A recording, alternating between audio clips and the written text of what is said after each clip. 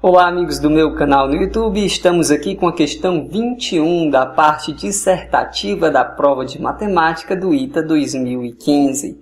Seu enunciado diz o seguinte: considere as funções f1, f2 e f, todas de R em R, sendo f1 de x calculado dessa forma, um meio do módulo de x mais 3, f2 de x sendo calculado dessa forma, 3 meios do módulo de x mais 1, e f de x igual ao maior valor entre f1 de x e f2 de x, para cada x real.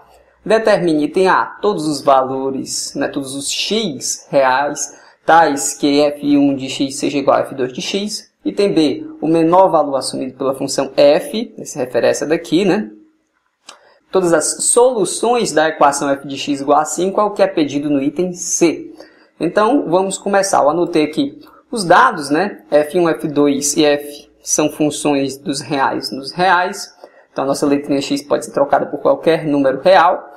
Bom, F1 de x é calculado dessa forma, um meio do módulo de x mais 3. F2 de x é calculado dessa forma, 3 meios do módulo de x mais 1. E f de um determinado x é o máximo entre o f1 daquele mesmo x e o f2 daquele mesmo x. Bom, como aqui você tem um módulo de x, a gente analisa, né? O módulo de x vai ser igual ao próprio x se esse x for maior ou igual que zero. Vai ser menos x se ele for menor que zero. Isso é a definição de módulo, né?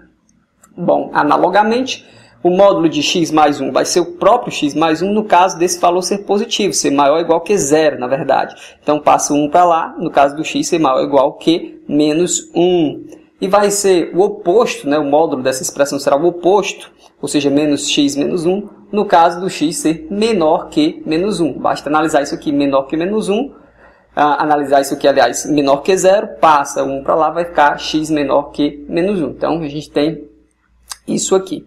Bom, vamos em frente. O item A pede o quê? O item A pede as soluções da equação f1 de x igual a f2 de x. Bom, o que eu fiz foi igualar, já que eu tenho aqui a definição da F1, ou seja, x, módulo de x vezes 1 meio, que é a mesma coisa de módulo de x sobre 2, mais 3 está aqui, igual a F2 de x, é isso aqui.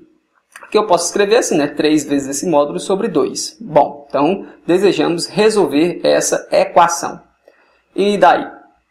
O que eu fiz daqui para cá foi multiplicar todo mundo por 2, a igualdade se mantém. Então essa equação aqui é equivalente à anterior obtive essa daqui.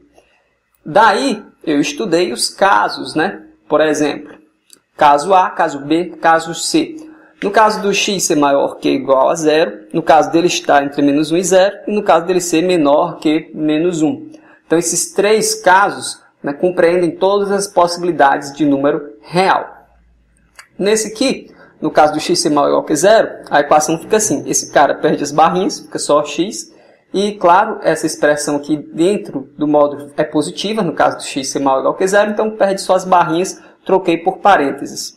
Resolvi, encontrei x igual a 3 meios. Ok, pois x deve ser maior ou igual que zero, então 3 meios, beleza. No caso da gente ter o x entre 0 e menos 1, o x sendo negativo, portanto, quando eu tiro as barrinhas aqui, eu tenho que botar o sinal negativo, né? Porque esse módulo fica menos x. Bom, para essa expressão aqui, entre menos 1 e 0, ela ainda é positiva aqui dentro das barrinhas. Então, perde as barrinhas, fica só os parênteses.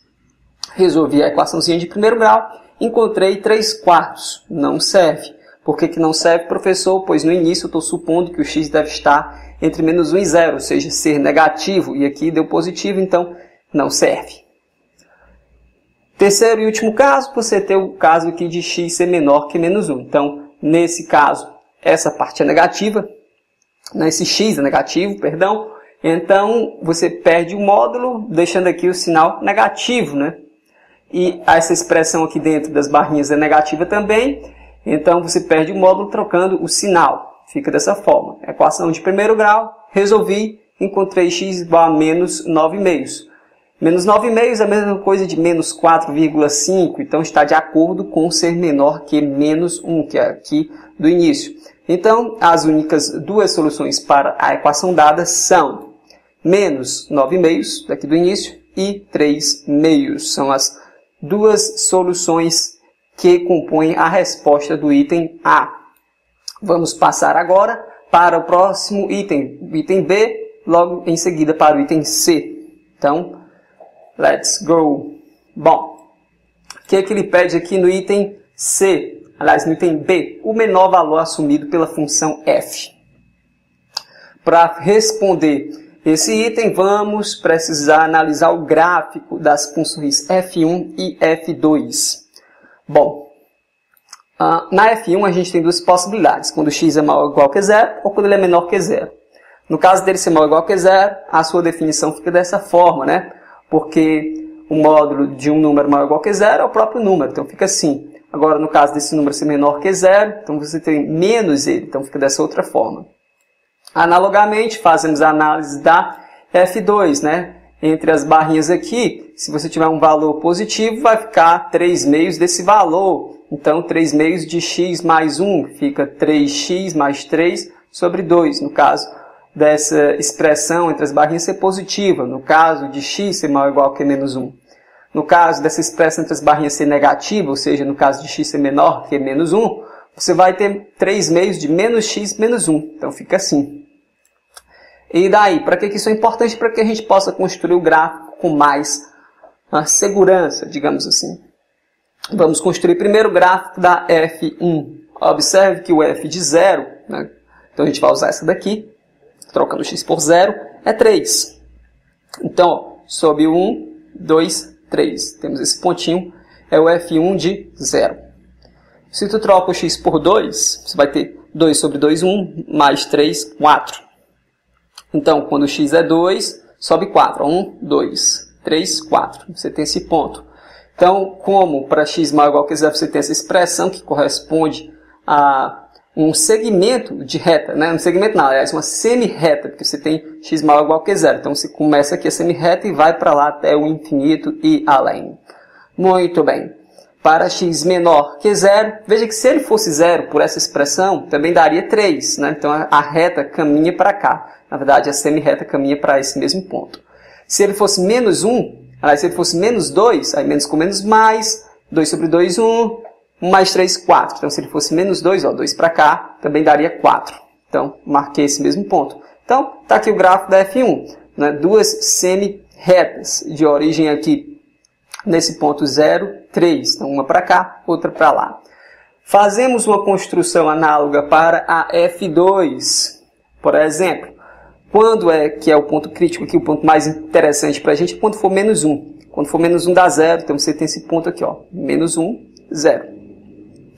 Se você tiver ah, valores maiores não é, do que menos 1, esse, essa expressão vai te fornecer uma semi-reta aqui, ó, crescente. E se você tiver valores menores que menos 1, você vai ter uma semi-reta decrescente. É o gráfico. Disso aqui você deve estar acostumado a analisar isso. Aí você me pergunta, professor, para que que tu fez isso tudo? Para que que tu construiu o gráfico? Ora, meu amigo, estou interessado aqui no valor mínimo da f de x, da f. Né? A f é o valor de cada x, segundo a função f, vai ser dado pelo maior entre o F1 e o F2 daquele mesmo X. Ou seja, o gráfico da F está aqui, nessa imagem. É só você pegar a parte mais alta quando compara da F2 e da F1.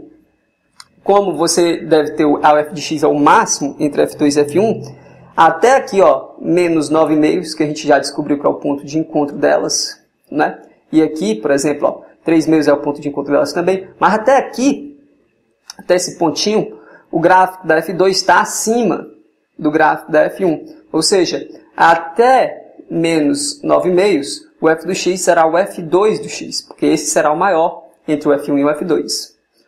Nessa região, de menos 9 meios até 3 meios, e esses valores eu encontrei no item A, né, que me dizem onde é que as duas se cruzam, onde é que as duas são iguais. Bom, nessa região, quem está por cima é a F1. Então, de menos 9 meios até 3 meios, o f do x será o f1 do x, pois esse valor será maior do que o f2 do x, estando por cima aqui. A partir de 3 meios, quem passa a estar por cima de novo é f2, por isso que nós temos essa linha. Então, acompanhe o mouse e veja o gráfico da F. Ó. Ela vem por aqui, vem por aqui. Quando chega nesse ponto, vai por aqui, ó, por aqui, por aqui, por aqui, por aqui, por aqui, por aqui, por aqui. Quando chega nesse ponto, vai por aqui, por aqui, por aqui, por aqui. Então você percebe do gráfico que o ponto mínimo da F será esse pontinho aqui, ó. Esse ponto especial é o ponto 0,3. Então o valor mínimo da F é 3. Essa é a resposta do item B. Passemos então ao item C. O item C pede que você resolva essa equação, f de x igual a 5. Ó, todas as soluções.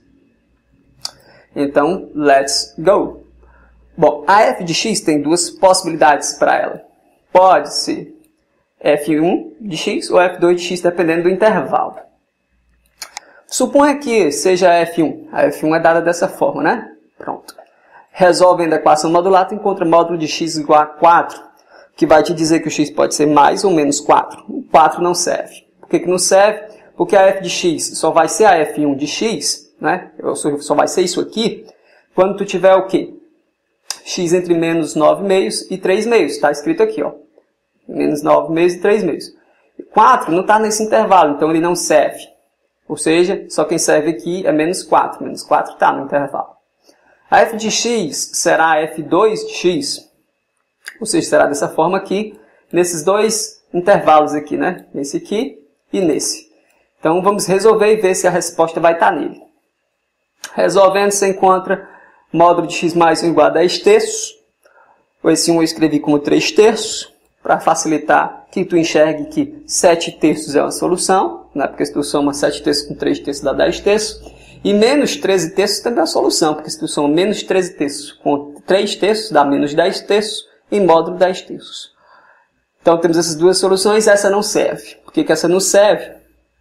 Porque isso aqui aproximadamente é uma dízima, né? na verdade, menos 4,3333333 e não está em nenhum intervalo interessante para esse caso aqui, que é o caso da F2.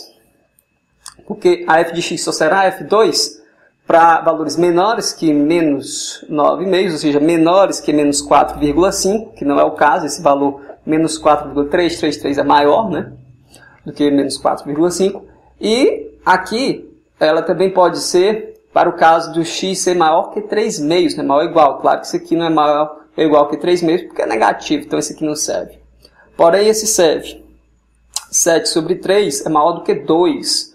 Então, é maior, consequentemente, do que 3 meios. Então, esse valor serve. Então, só esses dois servem o conjunto de solução para o item C é formado por menos 4 e 7 terços.